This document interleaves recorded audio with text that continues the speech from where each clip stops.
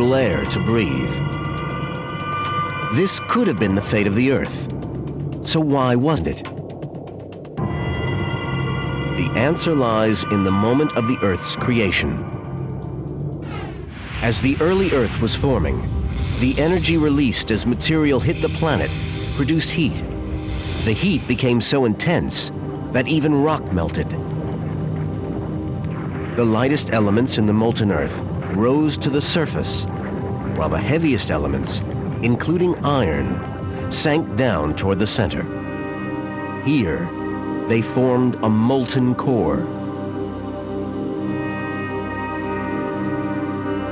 It's this iron core that protects us from the deadly effects of the sun's rays.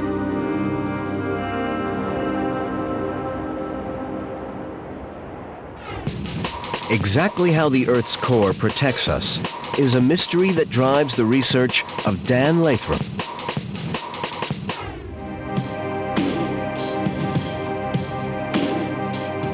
In his laboratory at the University of Maryland, he spins scale models of the core to study how it behaves.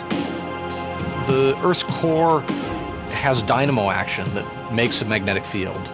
And that's a process where currents in the liquid iron cause magnetic fields.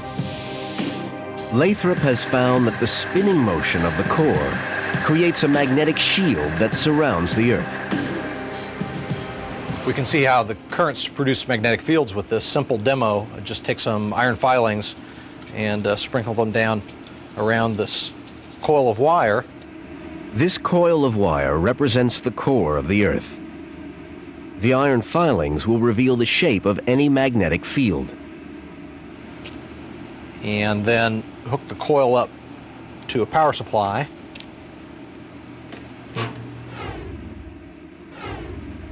You can see the iron filings line up with the magnetic field lines, and the magnetic field lines are passing through the center of the coil and looping around the ends. The electricity in the coil produces a magnetic field the same thing happens on a larger scale with the Earth's core. Its magnetic field gives our planet its north and south poles. It also extends far out into space. It's called the magnetosphere, and this is what protects us from the solar wind. As particles from the sun fly toward the Earth, the magnetosphere blocks their path. Those that get through are deflected toward the poles.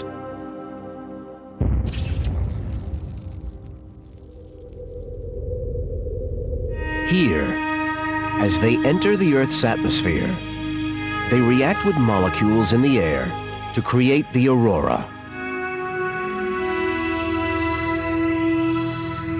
The northern and southern lights. Today, the solar wind still erodes our atmosphere. But thanks to the magnetosphere, the loss is not life-threatening. It's been estimated that between 5 and 10 pounds a second of our atmosphere are dragged out into the solar wind. Fortunately for us, even at that rate, the amount of time it would take to deplete our atmosphere would be many times the life of the sun.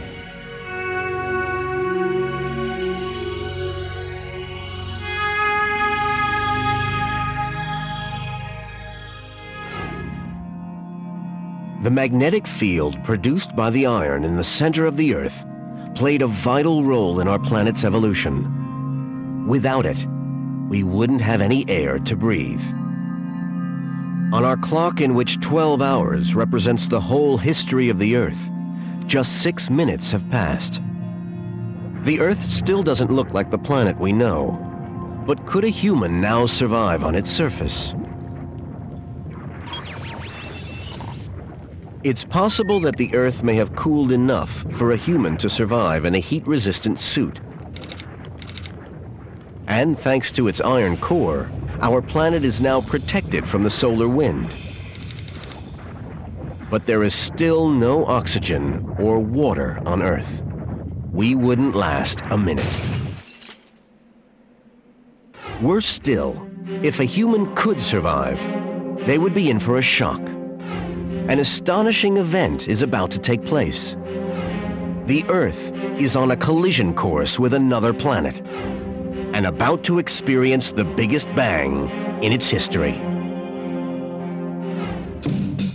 So far, we have seen how a giant cloud of gas and dust collapsed to form our solar system, and how the Earth's molten iron core created a magnetic field that protected the planet from the deadly effects of the solar wind.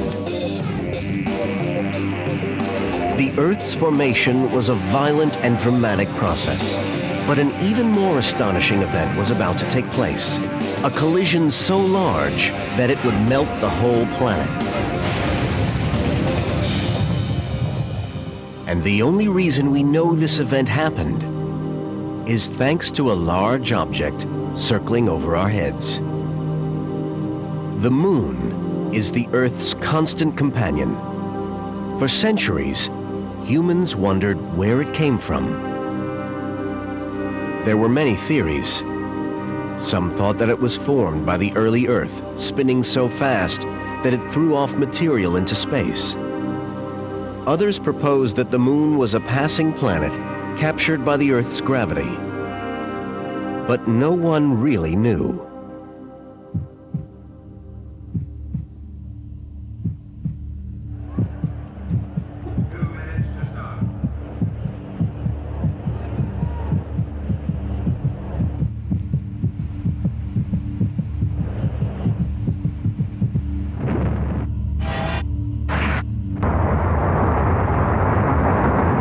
1963, the United States launched the Apollo program. One of the mission's aims was to discover how the moon was formed. Houston, uh, Sweet 16 has arrived. Okay. Orion, you go for landing. Uh, okay, down at three. Stand by for contact. Contact. Wow! Come on, man. Fantastic. In the late 1960s and early 70s, American astronauts made six visits to the moon. They played golf, tested their skills at off-road driving, and collected 840 pounds of moon rock for scientists back home to study.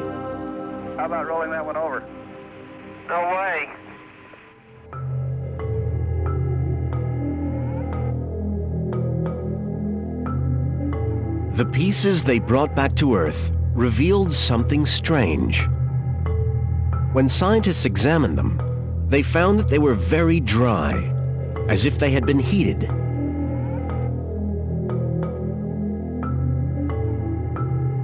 This was baffling. Any theory of the moon's creation needed to explain this mystery. In the 1990s, planetary scientist Robin Canup decided to put a new theory to the test. Using a supercomputer simulation, she modeled what would happen if the Earth collided with another planet. The results were a revelation. This is a, a simulation of a single impact by a roughly Mars-sized planet, shown here in the upper right, colliding with the young proto-Earth, represented by this object here. So the impactors come in and hit the Earth at a very oblique angle, at about 45 degrees, and you can see this long arm of material right here. That's actually the impactor. It's been stretched out and distorted by the impact event itself. There's an inner clump of material, you can see it right here, that will re-impact with the Earth. After a little more time, this outer clump of impactor material, it makes a very close pass by the Earth. As a result of the Earth's gravity, this initial clump is sheared out into a long arm of material, which then finally breaks up to form a disk. And it's from this disk of material orbiting the Earth that we believe the Moon then later accumulates. From this simulation, Canup has figured out exactly what happened during the impact. There would have been this unbelievably large impacting planet racing towards the Earth at a speed of seven miles per second. This would have been an enormous object, a planet that was half the size of the Earth itself, and so would have completely filled the sky just before impact.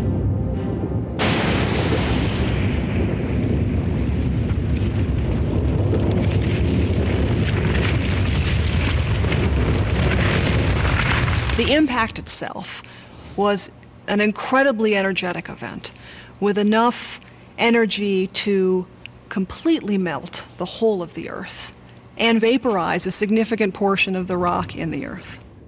When the planet hit the Earth, the glancing blow smashed material into space. Much of this debris stayed in orbit as a vast disk of rock and dust. A clump of this circling material then became large enough for its gravity to suck in other matter from the disk. And this became our moon. It's now 50 million years since the Earth began to form. On our clock, in which 12 hours represents the whole of Earth history, still only eight minutes have passed. At this stage in its life, the Earth appeared very different to the planet we know.